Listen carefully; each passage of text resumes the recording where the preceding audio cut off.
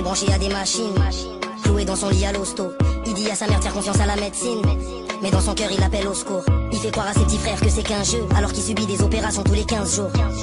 Il a de moins en moins de cheveux, de moins en moins de souffle. Il sent l'odeur de l'hôpital, le même goût amer dans sa gorge quand il dort. Il entend le charabia des médecins incessants. Il est condamné à mort à 16 ans.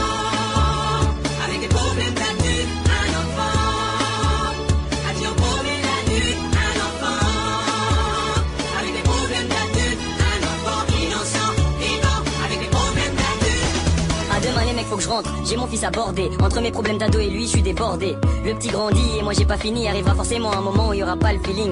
Malheureusement sa mère n'est plus parmi nous. Faut pas que mon cœur entende ce que je dis car il souffre. La mienne m'aide comme elle peut. Elle entend pas quand je lui répète maman ne t'en mêle pas.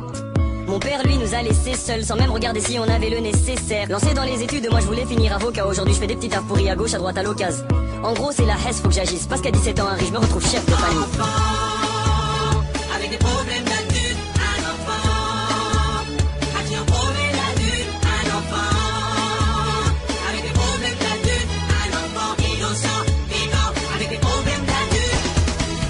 les nuits, la vie d'Omar n'est plus la même. Le feu lui a tout pris, n'a laissé qu'un pull en laine. Sans eux, rien n'est plus pareil, seul et jeune.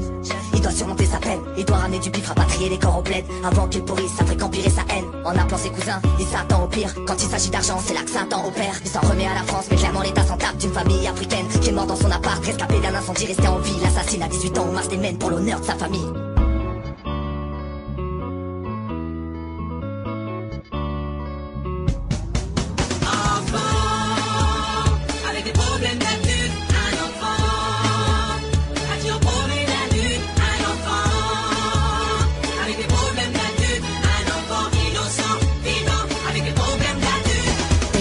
T'es une grande sœur, mais pour t'es une mère.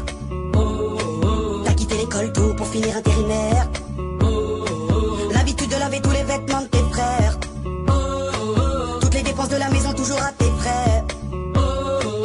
Le plus dur dans cette affaire, c'est pas mes problèmes d'adulte, mais c'est les rôles qui s'inversent. Je suis le père de mon père, j'ai du mal à m'y faire. Je suis dans des problèmes d'adulte sous une averse.